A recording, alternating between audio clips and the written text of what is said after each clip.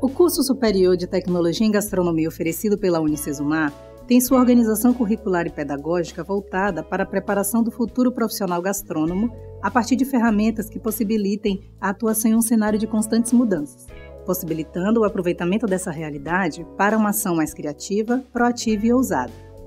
A atuação desse profissional se dá em três dimensões básicas: gestão sustentável, com práticas sustentáveis e de inclusão social,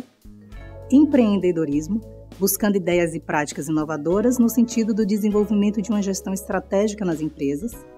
e consultoria, trabalhando com o setor gastronômico, realizando mudanças com a finalidade de atingir os objetivos da organização, dos executivos e das comunidades envolvidas. O curso oferece uma certificação profissional ao final de cada semestre, baseadas em habilidades e competências específicas que garantem maior facilidade de colocação no mercado de trabalho. Um restaurante escola no campus faz com que os alunos possam vivenciar a prática dos estabelecimentos de alimentos e bebidas, aliando teoria e prática.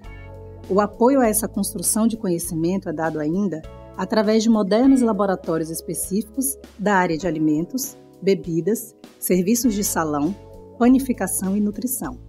Já formado, o profissional pode atuar nas seguintes áreas: cozinheiro, gestor de empresas do setor de alimentos e bebidas,